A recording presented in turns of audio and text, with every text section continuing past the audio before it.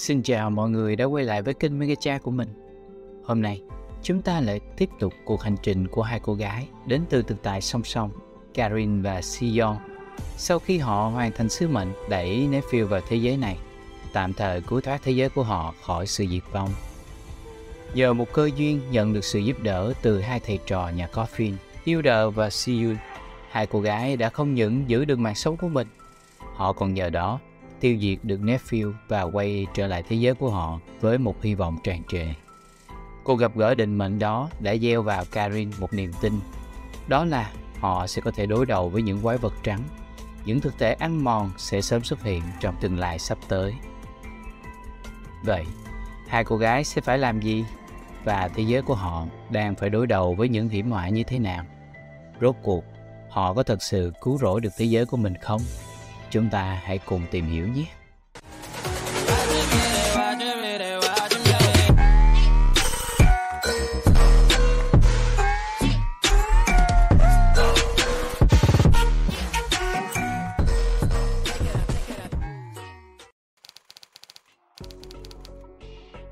Quay trở lại trước thời điểm Karin đến được thế giới này ít lâu. Cũng tại một căn cứ của Delta 7 nằm trên sa mạc Nevada. Karin đang bắt đầu cho khởi động lò phản ứng vàng vĩnh cửu cho một thiết bị có thể mở cánh cổng không gian đến tầng siêu sâu trong Counter-Strike. Như chúng ta đã biết ở phần trước, thế giới của Karin hiện đang chịu sự tàn phá dữ dội bởi một VTM cấp độ 4 có tên là Netfield. Bởi thiếu vắng một tổ chức tương tự như cục quản lý, thế giới của Karin dường như quá yếu trước tầm vóc của một VTM cấp 4, thứ mà chỉ với một counter cấp S trong thế giới của quản trị viên cũng đã có thể dễ dàng làm thịt nó. Vì vậy, nhóm Delta 7 của Karin đã nghĩ đến một phương án tương tự như ý tưởng của Maria đã làm với Nameless One. Cô sẽ mở một cánh cổng không gian, đẩy con Nephew vào tầng siêu sâu trong Counter-Strike, sau đó đóng cánh cổng lại và nhốt nó vĩnh viễn dưới đó. Nhưng vì không có được sức mạnh vi diệu như Maria, Karin chỉ có thể mở cánh cổng đó bằng một thiết bị sử dụng vàng vĩnh cửu và đảm nhận việc đẩy con Nephew vào đó sẽ do đại tá Trey thực hiện. Karin đang ở những bước cuối cùng của chiến dịch. Họ gọi nó là chiến dịch Crossroads. Karin điện đài nhắc nhở Sion, cô lính đánh thuê được giao nhiệm vụ bảo vệ vòng ngoài của trạm nghiên cứu. Karin bảo cô hãy bớt chìm đắm trong những que kem và tập trung vào nhiệm vụ phòng thủ. Bởi Karin lo ngại, chỉ cần một thực thể ăn mòn xen ngang vào quá trình chiến dịch sẽ thất bại hoàn toàn. Có vẻ như Sion cũng không mấy dễ chịu khi cứ bị bà cô này cằn nhạt suốt ngày, nên cô vội tắt liên lạc để chuẩn bị đón một đợt tấn công đang kéo đến. Về phía Karin, tuy vẫn hơi bực vì nó chưa đã cái nương thì đã bị cắt ngang. Karin vẫn phải tập trung vào công việc của mình. Lò phản ứng đã bắt đầu ổn định. Karin liền gọi cho một cô gái khác, một hacker thần đồng có biệt danh là Cybercat để thông báo tình hình. Sao cô chậm thế thiếu tá càng nhanh? Cybercat trả lời. Karin liền hỏi về đại tá. Tình hình của anh ấy sao rồi? Cybercat thông báo rằng Jay đang tột cả quần khi phải cầm chân con Nephill cho đến lúc này. Muốn biết tình hình của anh ấy, sao không gọi trực tiếp cho anh ấy đi? Trong lúc Cybercat sẽ bắt đầu truyền dẫn cánh cổng đến chỗ của Jay. Điện đài liền được kết nối với Jay. Dường như anh ta đang bị thương rất nặng, thậm chí phải cố gắng lắm, Jay mới đủ hơi sức để có thể cất lên tiếng nói. Làm tốt lắm, thiếu tá, Jay nói. Từ phía này, anh cũng đã bắt đầu nhìn thấy cánh cổng thứ nguyên được mở ra. Jay sẽ lùa con Nephew vào đó và nói một lần nữa để biết chắc rằng thế giới siêu sâu đó hoàn toàn không có người sinh sống chứ. Karin liền trả lời. Theo lý thuyết là vậy, anh hãy cứ tin ở cô. Jay liền gật gù. Anh liền gắn những hơi cuối cùng để có thể nói với người đồng nghiệp những lời có vẻ như lời lời trăn chối. Thiếu tá, thời gian của tôi đã gần cạn rồi. Giờ thì tôi sẽ phải giao cho cô một nhiệm vụ cuối cùng nữa. Là một thành viên của lực lượng Delta 7 vinh quang, cô hãy sống, hãy tiếp tục sống và đừng bao giờ bỏ cuộc. Hãy sống vì thế giới của chúng ta nhé. Thế là chiến dịch Crossroad đã thành công như những gì chúng ta đã biết. Ba tháng sau đó, tại buổi tưởng niệm và vinh danh những người đã nằm lại sau chiến dịch được tổ chức tại Nghĩa trang tạm thời thuộc trụ sở tiền đồn số 1 lực lượng phòng vệ nhân loại. Người chỉ huy vệ binh đang xướng tên những người anh hùng đã ngã xuống. Chỉ huy trưởng Dominic King, điều hành viên Ed McCain, Brian Lee, Honest Mason và chỉ huy Jay Walker cùng vô số những anh hùng khác đã hy sinh để bảo vệ thế giới khỏi thảm họa Nephill. Chúng ta sẽ không bao giờ được quên họ, không bao giờ được lãng phí cho dù một chút ít thời gian quý báu mà họ đã phải đánh đổi sinh mạng để có thể đem đến cho chúng ta. Hãy bình yên, hỡi những người đồng đội đã đi trước. Người chỉ huy đó không ai khác chính là Karin của chúng ta. Hướng theo tiếng súng rền vang, Karin thì thầm. Jay, anh có đang theo dõi tôi không? Tôi đã theo lệnh anh. Tôi đã sống sót. Tôi sẽ gắn sống sót cho đến khi nào tôi vẫn còn có thể. Giống như anh, tôi sẽ không bỏ cuộc. Vì vậy, hãy dõi theo tôi, đại tá.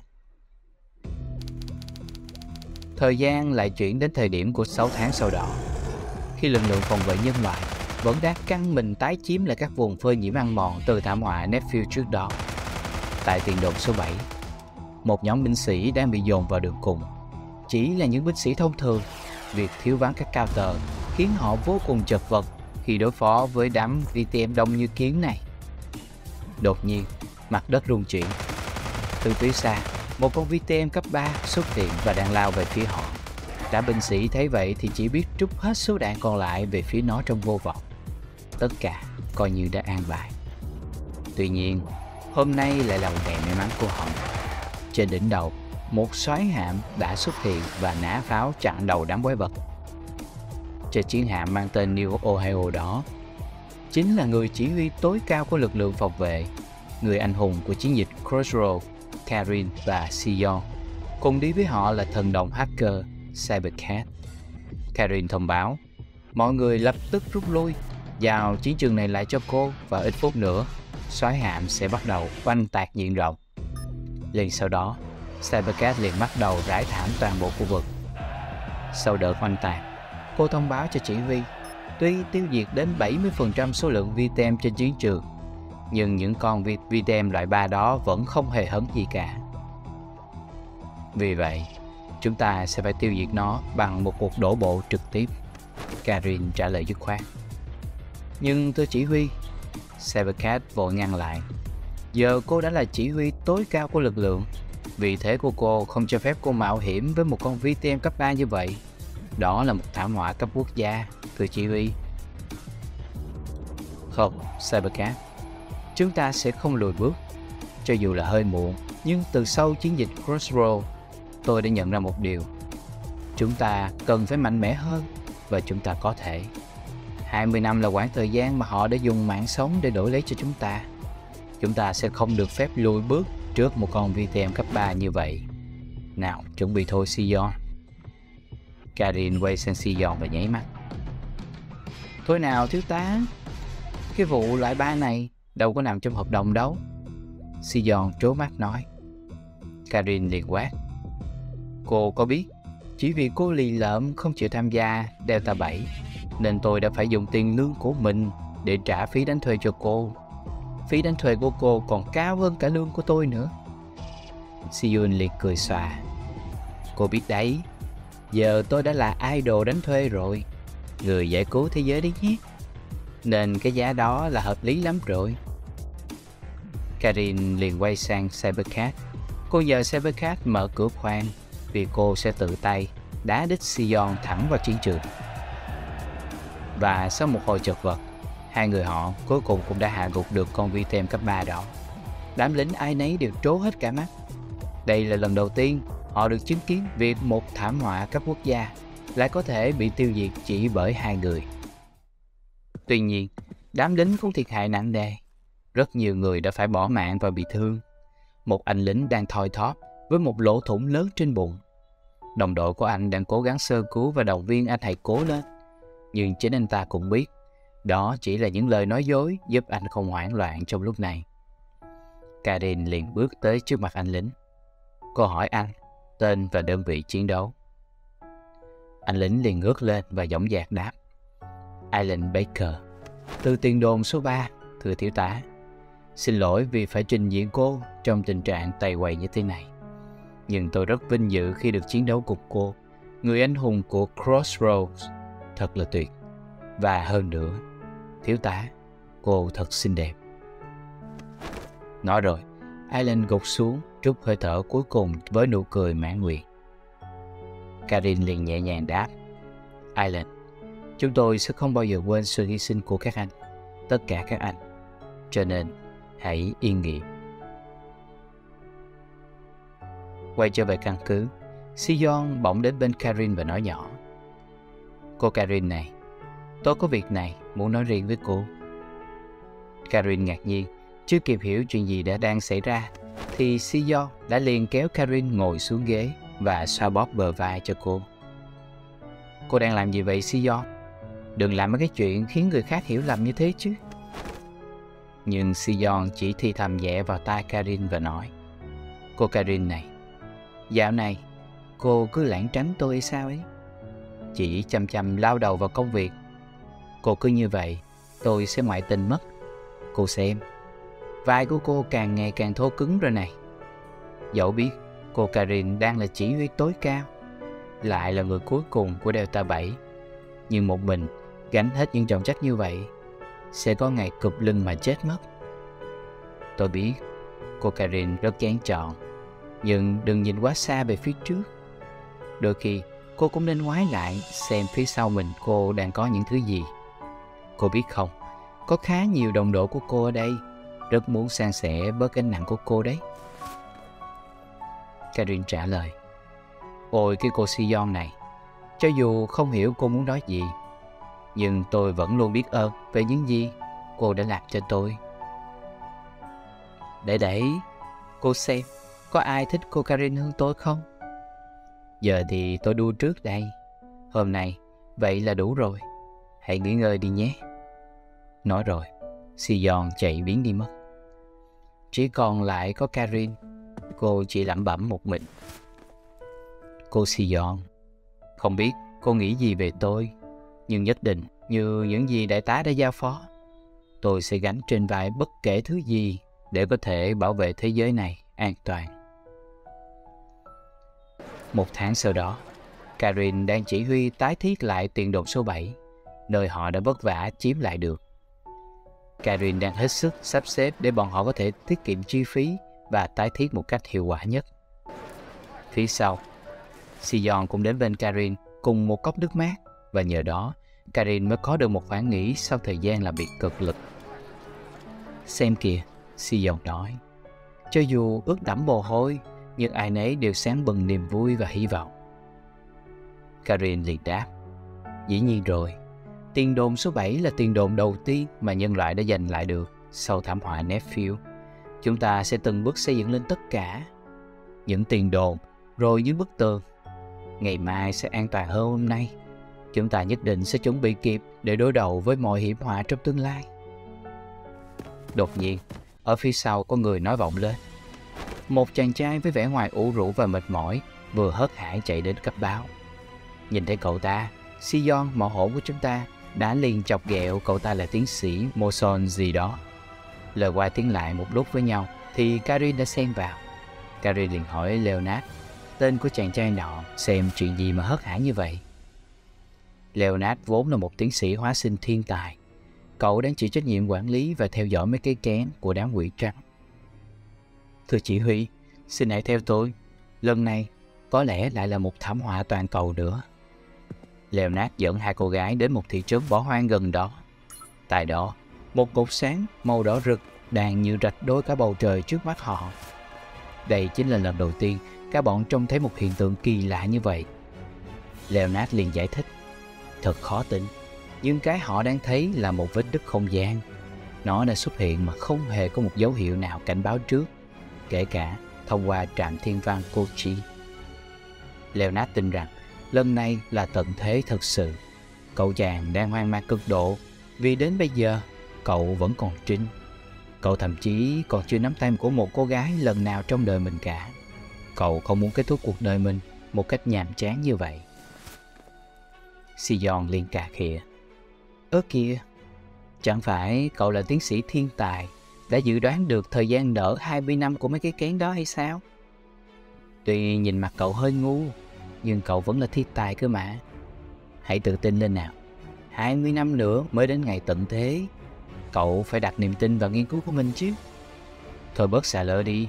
Karin xe ngang. Cô lệnh cho Leonard lập tức rút về căn cứ. Cô và Sion sẽ đi điều tra xem vết nứt kia có gây nguy hiểm gì hay không. Liệu nó có ảnh hưởng gì đến những cái kén không? Sau khi cả hai dọn dẹp vài top VTM nhỏ lẻ, Karin kiểm tra thì không thấy có gì bất thường cả. Nhưng đột nhiên, Sion nghe thấy một tiếng động lớn như thể tiếng xé vải. Cho dù họ đang đứng tại một thị trấn bỏ hoang từ rất lâu. Sion liền nói, có lẽ nào là má.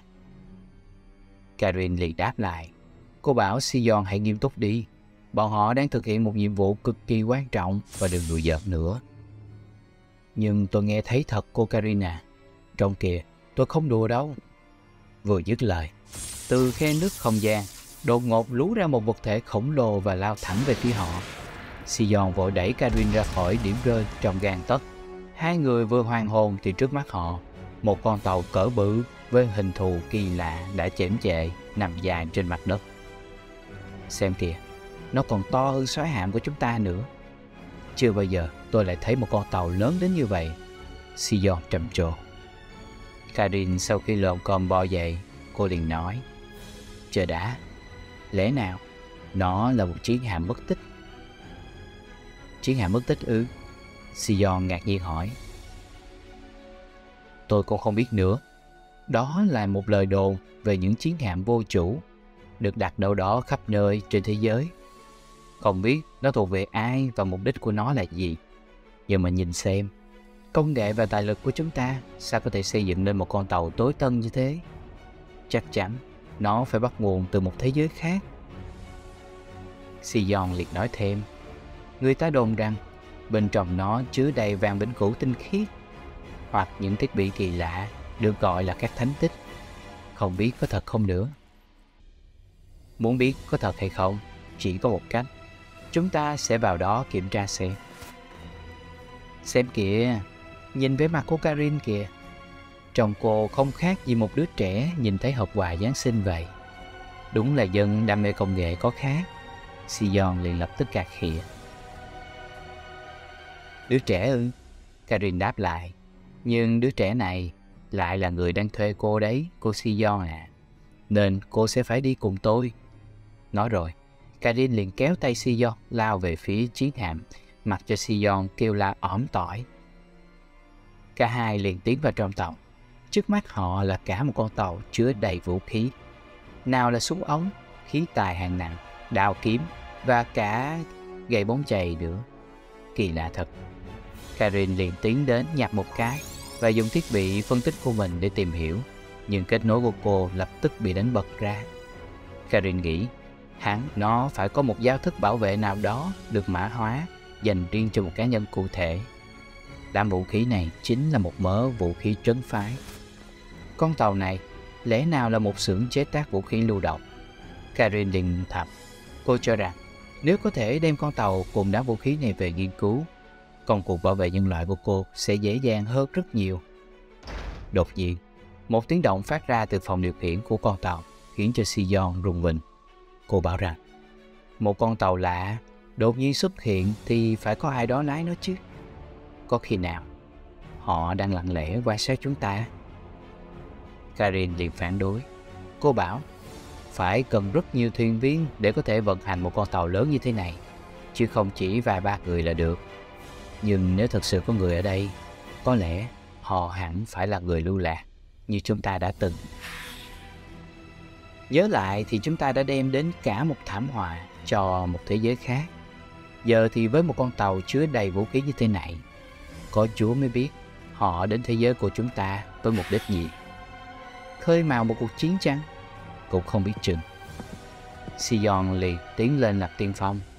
Với môi trường chiến đấu chật hẹp thì một chiến binh cận chiến như cô sẽ có lợi thế hơn nhiều. Hai cô gái liền tiến về phía phòng điều khiển. Hai người liền phát hiện ra, tiếng động vừa rồi thật ra là tiếng ngáy. Một cô gái trẻ đang nằm sải lai trên nền. Cô ta kỳ lạ một điều, lại đang mặc đồng phục giống hệt như Delta 7. Nghe thấy tiếng động, cô gái lạ mặt chợt choạc tỉnh lại. Cô liền hỏi, đây là đâu? Và tôi là ai vậy? Hai cô nàng của chúng ta hơi bất ngờ. Đáng lẽ người hỏi câu đó là họ mới đúng. Sion liền nghĩ, cô gái này hẳn đã mất trí nhớ do vụ va chạm vừa rồi chăng? Karin liền bảo cô ta giơ tay lên. Cô hỏi, nếu đã mặc đồng phục Delta 7 thì cô không thể không biết mình là ai được. Antonov, cô gái trẻ với vết sẹo một bên mắt liền trả lời. Tôi không biết nữa. Tôi chỉ nhớ người ta gọi tôi bằng cái tên đó. Sion liền quay sang Karin và nói Trong Delta 7 có ai tên là Antonov không? Không. Đây là lần đầu tiên tôi nghe đến cái tên đó. Karin trả lời. Bên ngoài thị trấn hoang vắng, sự hiện diện của họ còn thu hút sự chú ý của một người bí ẩn. Một người luôn miệng kêu lên Giết Phải giết tất cả những kẻ thù 15 ngày sau đó Kể từ cuộc gặp gỡ đầy bất ngờ ấy Hai người đám Karin và Sion Vẫn còn trú tại tiền đồn số 7 Sion đến gặp Karin và hỏi, Vì sao họ còn lưu lại ở đây Mà chưa về trụ sở chỉ huy? Karin liền tiết lộ, Không như họ nghĩ, Bọn họ không thể sử dụng được số vũ khí đó. Bằng một cách kỳ lạ nào đó, Những món vũ khí lập tức bị phân rã thành cát bụi Khi bị đem ra khỏi con tàu. Giờ thì bọn họ chỉ có thể trông chờ vào việc khai thác thông tin gì đó từ cô gái tên là Antonov kia thôi. Thế thì đem cô ả về trụ sở luôn đi. Sion sốt ruột nói. Không được. Karin giải thích. Cô ta quá khả nghi, cho nên Karin đã tự bổ nhiệm mình trở thành sĩ quan quản lý tiền đồn số 7 này và ở lại thẩm vấn cô ta. Đầu tiên, cô ta xuất hiện với một đống vũ khí kỳ lạ. Thứ hai là việc đã 15 ngày trôi qua mà cô ta không bị gì cả. Hãy nhớ rằng, nếu một kẻ lưu lạc đến thế giới khác, việc lệch pha lượng tử sẽ khiến các phân tử cấu thành nên cơ thể của họ bị phân hủy chỉ sau 24 giờ. Vì vậy có thể việc cô ta mất trí cũng là một mưu tính chăng? Sion thì lại nghĩ, điều đó có thể chứng minh một việc. Bằng một cách nào đó, người lưu lạc vẫn có thể tồn tại ở một thế giới khác. Gary liền nói, chính vì vậy, cô sẽ tìm mọi cách để khai thác thông tin từ cô ta. Những thông tin này sẽ rất quý giá. Nhưng cô Karin này, Antonov hẳn là một thành viên của Delta 7 trong thế giới của cô ta. Điều đó có ổn với cô không? Yên tâm đi Sion. Karin mỉm cười. Tôi sẽ không để tình cảm chen ngang vào công việc đâu. Thời gian đã thấm thoát sau thời điểm đó một năm. Antonov đang đi thực địa tại một khu tái định cư trong tiền đồn số 7. Antonov có vẻ đã trở thành một sĩ quan trong tiền đồn, một quản trị viên dân sự. Cô đang giúp những người dân trong khu vực cải thiện điều kiện sống của họ. Nơi này giống như một trại tị nạn dành cho những người dân lưu lạc khỏi những thị trấn bị phơi nhiễm ăn mòn. Một bà lão cảm ơn quản trị viên Antonov vì đã giúp đỡ họ bấy lâu nay. Antonov liền trả lời, cô mới là người cần phải cảm ơn họ. Bởi họ đã gắn bám trụ tại nơi này, thay vì đi đến tiền đồn thứ nhất, nơi có cuộc sống ổn định hơn. Bà lão nọ liền bảo rằng, đây là nơi chôn nhau cắt rốn của họ, nên họ không thể bỏ nó đi được. Bà lão liền hỏi, Antonov quê ở đâu? Thì cô ta chợt đực mặt ra. Có vẻ như cô không nhớ về nguồn gốc của mình thật. Bà lão liền bảo Antonov, giờ bà ấy phải về lo cơm nước cho mấy đứa cháu. Hãy ghé qua chỗ bà và lấy một ít rau củ, coi như đó là một ít quà quê. Quay trở lại căn cứ, Antonov đang đút cho Cybercat ăn những món mà cô vừa nấu bằng những gì cô mang về từ khu dân cư. Trời ơi! Cybercat gào lên. Nào là bánh mì củ cải, súp củ cải, salad củ cải, đến bít tết cũng làm bằng củ cải nữa. Xem nào, Người tôi sắp mọc ra lá cải thay vì tóc đây này. Cybercat đang lè lưỡi. Cô ta không thích rau củ quả. Cô ta là trẻ con mà. Nghe nè Antonov, tuy tôi không phải là thành viên chính thức của Delta 7, nhưng so về thâm niên, tôi đang là cấp trên của cô. Cứ đà này, tôi sẽ buộc tội cô vì hành vi cưỡng cậu và làm dụng trẻ em đấy. Nào nào, há miệng ra nào, Antonov liền dỗ dành. Trước khi là một người lính, chẳng phải Cybercat vẫn là một đứa trẻ sao? Mà nghĩa vụ của một đứa trẻ đối với quốc gia là phải lớn lên khỏe mạnh. Nên hãy ngậm miệng lại và ăn đi. Củ cải rất quý giá đấy. Sau đó, Antonov sang phòng thí nghiệm để tìm gặp tiến sĩ Leonard. Ở đây, cô bắt gặp chàng tiến sĩ đang chế tạo một thứ gì đó vô cùng kinh dị. Cô đem đến cho anh một tập hồ sơ mà anh đã nhờ cô tổng hợp lại. Leonard hơi ngạc nhiên vì đây là dữ liệu nghiên cứu của anh trong vòng 5 năm. Thế mà cô ta hoàn thành nó chỉ trong vài ngày. Tuy nhiên, điều khiến Antonov chú ý đó là cái thứ đang nằm ở trong tay Leonard. Antonov liền hỏi tiến sĩ Lee, anh đang làm cái gì mà trong tởm vậy? Leonard liền giải thích, cậu gọi nó là trái cây âm phủ. Một thứ trái cây vị sô-cô-la và có thể ăn được. Antonov liền chộp lấy, khiến cho Leonard hết hồn. Cậu tưởng rằng Antonov đã biết được âm mưu của cậu ta là tạo ra một loại sô-cô-la có thể phá hủy tình cảm của các cặp đôi trên toàn thế giới. Một sản phẩm của kẻ ghen ăn tức ở. Nhưng Antonov lại nói, cô thật sự ngưỡng mộ tài năng của Leonard. Anh đúng là một thiên tài. Thứ trái cây này sẽ là thứ có thể cứu đói, vì ai mà chả thích sô-cô-la kê chip. Nhìn thấy vẻ ngây thơ của Antonov, viễn cảnh ngôi nhà và những đứa trẻ lập tức chạy qua đầu anh. Đầu óc của anh chàng này biến thái quá đi mất. Đột nhiên, một cảnh báo ăn mòn cấp độ 1 vang lên. Nhận ra, nó đến từ khu nông trại. Antonov vội vã lao về hướng đó. Khi đến nơi, cô đã kịp nổ súng và cứu sống bà lão ôm nọ. Bọn người dân đang cố bảo vệ khu trồng trọt, nơi họ đã dày công vuông sới để có thể gia tăng sản xuất những thứ khác thay vì củ cải. Đó đều là tâm huyết của họ. Antonov liền lệnh cho mọi người mau chóng rút về hầm trú ẩn, cứ bỏ nông trại lại, giữ lấy mạng sống trước cái đã. Về phần bà lão, tuy bị thương, nhưng bà lại có một mối lo khác. Bà lão liền nhờ Antonov đi tìm hai đứa cháu của bà. Chúng đã trốn vào nhà kho gần đó. Về phía hai đứa trẻ, bọn nhỏ đã kịp trốn vào nhà kho và khóa trái cửa lại. Nhưng con phi VTM đã phát hiện ra và liên tục hút vào cánh cửa.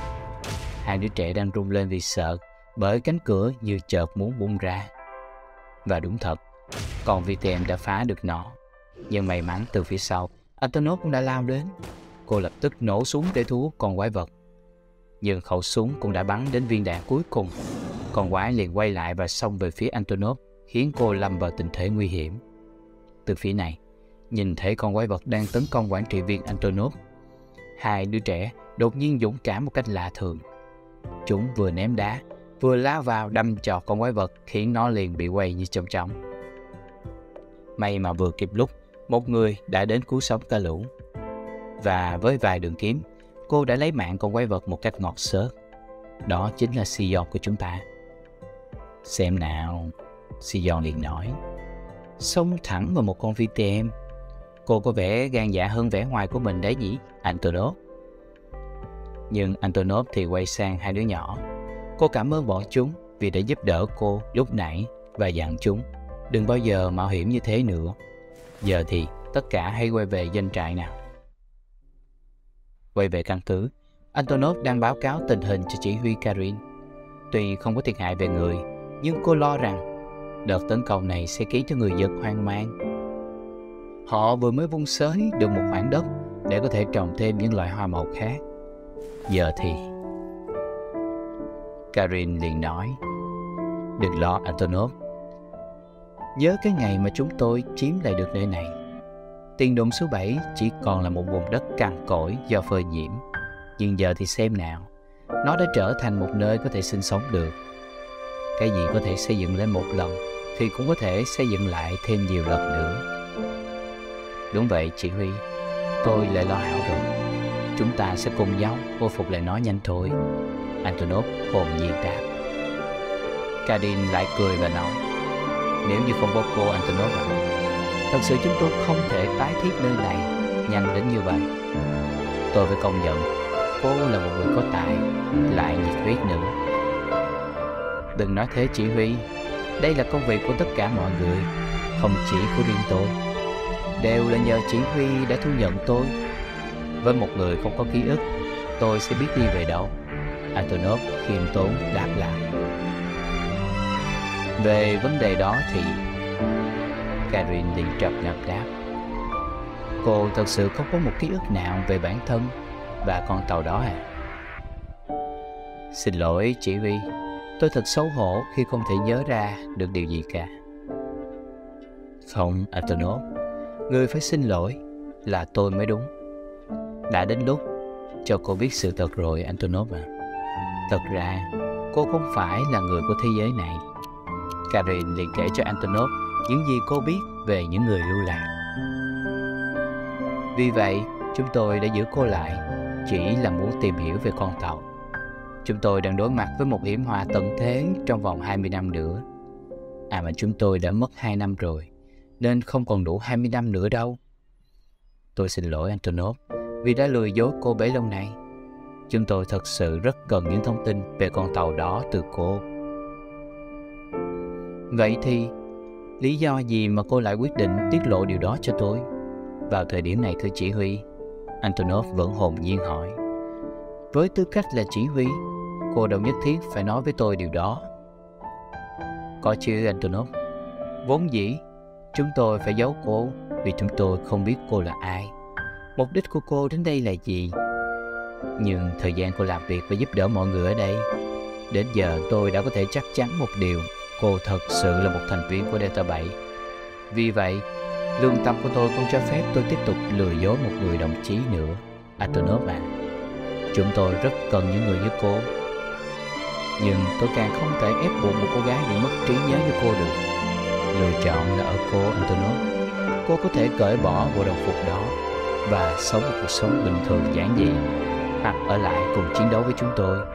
Tùy cô lựa chọn. Đột nhiên, một tín hiệu khẩn cấp đã cắt ngang câu chuyện của hai người. Karin liền tạm ghét lại chuyện đó. Cô bảo với Antonov, lúc nào cô có được quyết định cuối cùng thì cứ báo với cô ấy một tiếng là được. Lần này, tin xấu vẫn đến từ cái mồm của tiến sĩ thảm họa Leonard. Anh ta đang ở trạm thiên văn Kochi và anh phát hiện ra một làn sóng tia ăn mòn vừa phát ra từ một cái kén. Leonard không biết có phải là do thiết bị đo lường bị lỗi hay không nữa Cybercat liền mắng anh ta. Cứ hơi tí là sồn sồn hết cả lên. Nhưng Karin liền xuất hiện và bảo rằng, Cẩn tắc thì vô ấy nấy. Leonard làm như thế là đúng. Bọn họ cần phải đến tọa độ đó để kiểm tra ngay. Cybercat liền tuân lệnh và bắt đầu khởi động bước nhảy. Họ sẽ nhảy vào cao tờ sai Theo tọa độ mà Leonard đã gửi qua. Trên đường đi, Bọn họ bắt gặp một đám VTM đang bị thu hút về phía tọa độ đó, Nên đã dừng lại và dọn dẹp bọn chúng để tránh hậu họa về sau. Hai người Karin và Sion cuối cùng cũng đã tiếp cận tọa độ của cái kén. Karin móc ra một cái ống nhòm hồng ngoại có thể nhìn xuyên qua tường. Một món đồ nữa mà Sion chưa thấy bao giờ. Cái vali đó giống như một túi thần kỳ của Doraemon vậy. Thật đáng sợ. Tuy nhiên, Karin lại không nhìn thấy quả trứng đâu cả. Không lẽ bị nhầm? Hay nó nở rồi? Karin liền kiểm tra kỹ một lần nữa tọa độ mà Leonard đã đưa cho. Sau đó quét lại thì một hình ảnh kỳ lạ đã đập vào mắt cô. Một thực thể như một con quái vật trắng vừa xuất hiện một cách bất ngờ. Thấy thế, hai người vội vã rút lui về tàu. Karin lệnh cho kết nối với Leonard để hỏi anh ta về sinh vật nọ, nhưng kết nối đã bị gián đoạn. Cybercat thông báo, cô cũng phát hiện một đàn VTM cực lớn đang hướng thẳng về phía căn cứ. Nếu điều này là sự thật, có lẽ họ vừa mắc phải kế nghi binh. Không thể nào. Karin vẫn không thể tin được. Một thực thể ăn mòn sao lại có thể đủ trí tuệ để làm điều đó? Giờ thì tạm thời, họ sẽ coi con quái vật trắng đó là một phân loài tương tự như Nephill. Nhưng việc trước tiên cần làm đó là nhanh chóng trở về tiền đồn số 7 để chi viện trước khi nó bị lũ phi tem cạt quét. Cybercat lập tức thực hiện bước nhảy. Nhưng khi New Ohio đang đi vào vùng không gian liên triều, thì đột nhiên họ phát hiện một thứ gì đó đang bám vào thân tàu. Karin truy xuất camera thì trông thấy con quái vật trắng ban nãy đang cắm chặt những móng vuốt của nó sâu vào trong tàu nhằm bám theo họ. Karin bàng hoàng nhận ra nó đúng là mưu tính từ trước. Nó đang lén lút bám theo họ để có thể nhảy vào Noble Sai. Tình thế nguy cấp, cô lệnh cho Cybercat lập tức dừng quy trình nhảy và thoát khỏi không gian liên triều. Nếu không, con quái vật này sẽ có mặt ở đâu một sai mất. Quy trình hãm khẩn cấp để diễn ra thuận lợi. Nhưng Cybercat lo ngại, nó sẽ khiến cho New Ohio giảm tuổi thọ ít nhất là 5 năm. Sion liền nói, giờ không phải là lúc lo cho tuổi thọ của New Ohio, mà hãy lo cho tuổi thọ của chính chúng ta đây này. Karen liền dục Sion, giờ không có thời gian để mà càm ràm đâu. Hai người họ sẽ phải tìm cách bóc tách nó ra khỏi thân tàu và nhanh chóng nhảy tiếp. Nếu không, tiền đồn sẽ nguy mất. Thế là hai cô gái lập tức xông ra giao chiến. Về phía tiền đồn, đúng như Karin lo ngại, tiền đồn số 7 đang thất thủ. Những anh lính phòng vệ vòng ngoài đang cực lực chiến đấu trong vô vọng. Đối thủ của họ là những con VTM hạng 3 hung hãn. Bọn họ chỉ còn biết vừa bắn vừa cầu nguyện, soái hãm có thể trở về kịp. Nhưng tất cả đã muộn, họ đều nhanh chóng bỏ mạng. Một anh lính vệ binh khác tức tốc chạy và báo cáo cho quản trị viên Antonov. Cô vội hỏi lại, khu dân cư trú ẩn đó có sao không? Thì anh lính cho rằng nơi đó chắc giờ cũng đã bị hủy diệt rồi. Anh bảo, giờ bọn họ cần phải rút về tiền đồn số 6 để có thể cố thủ tiếp.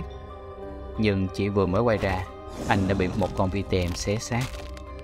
Đứng trước tình thế bị dồn vào đường cùng, đột nhiên, anh ta đốt nhớ ra một hình ảnh về quá khứ.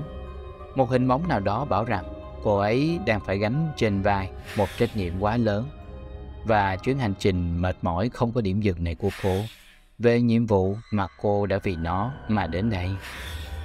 Không được, mình không được phép chùn bước. Mình sẽ hoàn thành nhiệm vụ này, cho dù phải trả cái giá đắt đến như thế nào đi nữa. Phía đại thiên văn Kochi, Leonard cũng đang được một vệ binh dẫn lối đi di tản. Nhưng rồi họ cũng bị một đám VTM chặn lại. Anh lính cũng đã hy sinh, để lại Leonard một mình với tình cảnh chớ trêu nhà nghiên cứu hóa sinh vĩ đại, cả đời nghiên cứu về VTM, giờ lại bỏ mạng bởi một VTM nhảy nhiếp. Thậm chí, trong lúc vẫn còn trinh. Nhưng may mắn, một người đã xuất hiện và ứng cứu. Ít nhất là lần này, tôi đã cứu được anh, Rona. À, mà ở thế giới này, anh tên là Leonard mới phải. Cô Antonov, có phải là cô không? Trước mặt Leonard, là một Antonov với một thái độ mà có lẽ cô ấy đã không còn là Antonov mà anh từng biết nữa. Quay lại với New Ohio, mọi chuyện diễn ra ở đây cũng tệ không kém gì ở tiền đột số 7. Hai cô gái của chúng ta đã bị con quái vật trắng đánh lui. Sion thì bị thương nặng và bất tỉnh. Karin đành ôm cô lao vào tàu cố thủ. Cybercat gọi đến để hỏi tình hình thì Karin nói rằng Cô xin lỗi vì đã không thể đuổi con quái vật ra khỏi tàu. Cybercat liền nói, đừng xin lỗi nữa. Giờ thì hai người hãy chuẩn bị theo đường thoát hiểm mà ra khỏi tàu. Cybercat sẽ lái con tàu này đâm thẳng xuống đất để chôn vùi con quái vật ở đây. Cô nói gì vậy Cybercat? Không được, tôi không cho phép điều đó. Karin vội thốt lên. Hãy làm vậy đi Karin. Cho dù tôi không ưa gì hai người, nhưng không thể để hai người hùng của Crossroad bỏ mạng uổng phí ở đây được. Giờ thì đợi hiệu lệnh của tôi, tôi sẽ mở cửa sập trong ít giây nữa. Không được, Karin vẫn phản đối. Nếu phải như vậy, cô hãy đem Sion đi, tôi sẽ chặn con quái vật ở đây. Tuy nhiên, không để cho họ giành giật cái chết với nhau, con quái đã phá được thân tàu và chui vào, chuẩn bị ban phát cái chết cho tất cả con quái vật trắng từ từ tiến đến. Nó gầm gừ, nó bảo sẽ giết bất kỳ kẻ nào ngãn đường nó ở đây. Con quái vật trắng liền tấn công Karin, Nhưng một lần nữa, Sion đã gượng dậy và đỡ đòn. Một đòn chí mạng. Phía trên đài chỉ huy, Sebacat liền lao thẳng con tàu xuống mặt đất với hy vọng độc quỷ với nó. Tiếc là cú va chạm không làm nó hề hấn gì. Karin liền ôm lấy Sion và chạy đến phòng điều hành. Sion thì đã ướt đẫm trong vũng máu. Cybercat thì cũng nằm bất động. Hai người bọn họ đã không còn một dấu hiệu của sự sống nào. Tôi đã làm gì thế này? Karin sững sờ. Anh hùng ước. Vinh dự được chiến đấu cùng những người hùng ước. Tôi chỉ đem lại cho họ sự chết chóc. Trong cơn tuyệt vọng, Karin nhớ về những lời mà Hilda đã dặn cô. Hãy cố gắng sống tốt khi trở về. Giả như tôi có thể mạnh mẽ như cái đám người Fenrir đó, tôi đã có thể thay đổi được cục gì. Có vẻ như Karin đã không còn một chút tự tin nào nữa. Từ phía ngoài, con quái đã phá được cửa phòng điều hành. Nó đã dùng Karin đến trước tường. Đại tá, có lẽ tôi đã không thể làm theo lệnh của anh nữa rồi. Karin như muốn trút những lời cuối cùng. Đột nhiên, một giọng nói quen thuộc đến từ điện đài truyền đến. Tiểu tả, nếu như cô vẫn còn muốn sống, xin hãy tránh xa ra khỏi con quái vật đó giúp tôi. Vừa nói xong, một luồng tia năng lượng từ không trung đã phóng tới và thổi bay con quái vật đi mất. Tiểu tá, cô còn sống chứ? Antonov, là cô sao? Antonov vừa đến cùng với chiến hạm bí ẩn của cô ta. Một lúc sau, Karin đã đưa Sion và Cybercat cùng Antonov về lại tiền đồ. Nhưng tất cả chỉ còn lại một đống đổ nát. Vì sao chứ? Tiền đồn số 7, niềm hy vọng tái thiết của nhân loại. Rồi Sion, rồi Cybercat, tất cả đã ngã xuống. Tôi phải làm gì đây hỡi đại tá? Karin chết lặng người khi đứng trước thảm kịch kinh hoàng này. Đằng xa, Karin chợt nghe thấy một tiếng kêu cứu. Peter, đúng rồi, đó là Peter. Karin vội lao đến. Đó là một anh lính, chỉ còn có một nửa người, phần còn lại đã bị ăn mòn nghiêm trọng. Thiếu tá, ơn trời, có phải cô đấy không? Là tôi đây Peter, cố lên, anh sẽ sống, hãy cố gắng lên. Tiểu tả, tôi đau quá. Xin Tiểu tá hãy giết tôi đi Tôi đã bị ăn mòn đến tận xương tủy mất rồi Đừng nói vậy Peter Chỉ cần anh còn sống Tôi sẽ tìm cách giúp được anh nhưng anh lính đã trút hơi thở cuối cùng Bởi một phát súng từ Antonov Antonov, cô đang làm gì vậy? Tiểu tả, đừng cố gắng nữa Cô hãy để anh ấy yên nghỉ đi Cho dù cô có cứu được anh ấy hay không anh ấy cũng sẽ trở thành một thực thể ăn mòn và lại đi làm hại người khác. Điều đó có phải là điều anh ấy muốn không? Antonov, cô, cho dù vậy, tôi vẫn không thể nhìn họ ra đi như vậy. Tiểu tá à, đừng tiếc thương cho những người chết nữa, hãy tiếc thương cho những người còn sống kia kìa. Cái chúng ta cần lúc này, đó là một chiến lược cụ thể, một biện pháp có thể cứu sống nhiều người trong tương lai. Xin hãy đi theo tôi. Antonov liền dẫn Karin vào chiến hạm, nơi mà tiến sĩ Leonard đang cố gắng phẫu thuật để cứu sống Cybercat và Sion. Cậu vừa phẫu thuật vừa lầu bầu về con tàu cũ kỹ và dơ giấy này. Xin lỗi vì điều kiện mất vệ sinh ở đây, tiến sĩ à. Antonov từ phía sau nói vọng lên. Tôi sẽ cho tàu hướng về tiền đồ số 1. Ở đó, anh sẽ có điều kiện tốt hơn. Cô có thể vận hành con tàu này mà không cần phi hành đoàn ư? Không thể nào. Không lẽ con tàu được trang bị một AI siêu việt điều khiển nó chăng? Karin thốt lên một cách bất ngờ. Trước hết thì tôi không thích AI thưa thiếu tá. Vả lại, nếu có sự hiện diện của một AI, lẽ nào Sylvia không nhận ra? Thật ra, con tàu này nó được kết nối trực tiếp với tâm trí của tôi.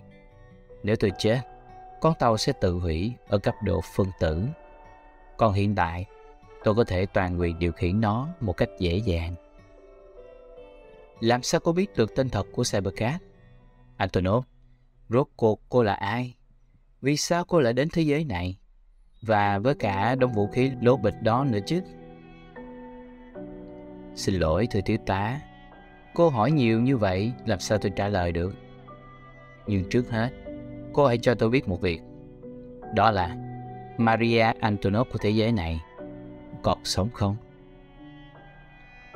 Maria Antonov ư? Tôi chưa bao giờ nghe thấy cái tên đó. Thật trớ trêu, Antonov liền thở dài một cái. Vậy là cái giá cho sự hy sinh của toàn bộ phi hành đoàn, cái giá cho một chuyến hành trình dài vô tận lại phải kết thúc ở một nơi như thế này. Không có người phản kháng, không có anh hùng chiến tranh, thế giới này còn quá yếu, nó sẽ không tồn tại được lâu. Antonov, xin cô đừng nói những lời khó hiểu đó nữa. Hãy giải thích cho tôi biết chuyện gì đã xảy ra. Carrie, tôi rất tiếc. Những gì tôi sắp nói ra sẽ không hề dễ chịu tí nào. Nói xong, Antonov liền đưa cho Karin xem một thiết bị gì đó. Cô có biết con số thể hiện trên đây có ý nghĩa gì không thiếu tá? Đó là chỉ số ăn mòn. Thiết bị này dùng để đo lường mức độ hủy diệt của một thế giới. Nếu chỉ số đó lớn hơn một, có nghĩa là thế giới đó đã trở thành một cao từ sai. Không thế nào, Karin thốt lên. Thế giới của tôi vẫn còn sống mà. Chắc hẳn thiết bị của cô đã hỏng rồi. Cũng có thể, thiếu tá. Nhưng có lẽ cô cũng nên chấp nhận sự thật đi. Tôi nghĩ lý do duy nhất để giải thích cho việc này đó là mặc dù thế giới này đã đạt ngưỡng hủy diệt, nhưng bằng một cách thần kỳ nào đó, các người đã tránh được nó. Tránh được nó ư? Không lẽ là sự kiện Crossroad? Karin chợt bần thần. Nhưng chiến dịch đó sẽ giúp cho chúng tôi có được thêm 20 năm bình yên để chuẩn bị cơ mà. 20 năm ư? Ê, cái ông tiến sĩ kia, ông lấy cơ sở gì để cho rằng ông có thể kéo dài tuổi thọ cho cái thế giới này thêm 20 năm cơ chứ? Leonard liền nói, đó là kết quả nghiên cứu của anh ta, rằng cái kén sẽ cần đến 20 năm mới có thể nở được. Sàm lơ quá đi, Antonov liền nói, chẳng phải con Nephew đã nở trước thời hạn ư? Rồi con quái vật trắng này nữa. Trong một cái thế giới mà kết quả đã được định trước, thì quá trình sẽ không còn là điều quan trọng nữa. Đừng tự lừa dối bản thân mình. Chúng tôi sử dụng thang đo hủy diệt này là có lý do. Bởi vì về bản chất, quái vật không hủy diệt thế giới đâu thưa quý vị.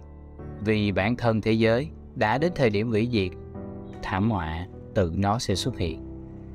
Thử nghĩ lại xem, các vị đã nói, đã tiêu diệt Nephew trong sự kiện Crossroad, nhưng chính sự dao động trong không gian do Crossroad gây ra lại đánh thức cái kén tiếp theo.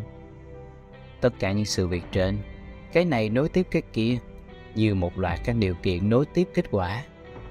Một hệ thống các nhân quả tuần hoàn đều dẫn đến một kết quả duy nhất, đó chính là sự hủy diệt. Tiêu diệt nephew là một phép màu, nhưng các vị sẽ cần bao nhiêu phép màu nữa? Giả sử, một ngày nào đó, một siêu nhân sẽ hạ phàm và quét sạch tất cả những cái kén thậm chí là quái vật trắng thủy tổ, thì sau đó một thảm họa khác cũng sẽ đến mà thôi. Hy vọng mà các vị đang có chỉ là tiền đề để sự tuyệt vọng tiếp tục nảy sinh. Đừng đùa với tôi chứ, Karin bắt đầu mất bình tĩnh. Ý cô là tất cả những sự hy sinh, mất mát này, tất cả những cố gắng bấy lâu đều là vô nghĩa ư. Và chúng tôi không thể thay đổi được định mệnh. Không đời nào Antonov, cô có biết cô đang nói cái gì không vậy? Được rồi Karin, nói cho tôi biết đi. Cô đã giải cứu thế giới này được bao nhiêu lần rồi? Không trả lời được phải không? Đối với chúng tôi, số lần đã đến con số vô hạn. Thế giới của chúng tôi có trình độ phát triển cao hơn thế giới của cô rất nhiều. Tất cả chúng tôi đều được can thiệp sinh học khiến cho chúng tôi không bao giờ lão hóa và luôn chiến đấu ở thể trạng sung mãn nhất. Chúng tôi đã từng rất tự tin, thưa cô. Chúng tôi chu du khắp nơi, lùng sục khắp các ngõ ngách trong mọi thế giới để tuyển về những món vũ khí siêu việt sản xuất hàng loạt và trang bị cho thế giới của mình. Nhưng cuối cùng, chúng tôi nhận ra, chúng tôi càng chiến đấu, thế giới của chúng tôi càng bị đẩy nhanh đến mốc bị hủy diệt. Chúng tôi càng tạo thêm những kẻ thù mạnh mẽ hơn nữa khi đem về những thứ vũ khí vượt ra khỏi cấp độ của thế giới mình. Chúng tôi tiến hóa, chúng cũng tiến hóa theo. Và điều gì đến cũng đến. Chúng tôi đã bị hủy diệt. Sứ mạng của tôi đang thực hiện.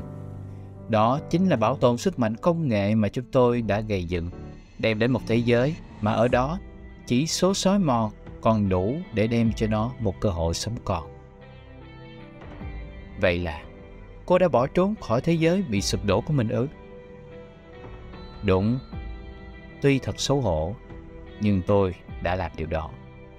Đây là cách mà chúng tôi đem lại hy vọng cho thế giới khác. Nhưng tiếc là nó không dành cho thế giới này, thiếu tá à. Vậy ý cô là chúng tôi đã hết hy vọng. Chúng tôi chỉ có cách nhìn nó hủy diệt một cách chậm rãi trong vô vọng sao? Tiểu tả, cô có nhớ đã từng đưa cho tôi hai sự lựa chọn khi cô rời khỏi căn cứ lần trước không? Giờ thì tôi sẽ cho cô một lựa chọn khác. Vốn dĩ, đây không phải là thế giới mà ban đầu chúng tôi hướng đến. Chúng tôi đã tìm thấy một thế giới mà ở đó, chỉ số ăn mòn là thấp nhất. Nó là thế giới khác biệt hoàn toàn với những thực tại khác. Ở đó, có một tổ chức gọi là Cục Quản lý. Có thể nhờ đó mà xác suất thành công của nó là cao nhất từ trước đến giờ. Vậy thưa thiếu tá, cô có đồng ý đi theo tôi, rời bỏ cái thế giới đã chết này, đến thế giới mới đó không? Thank you.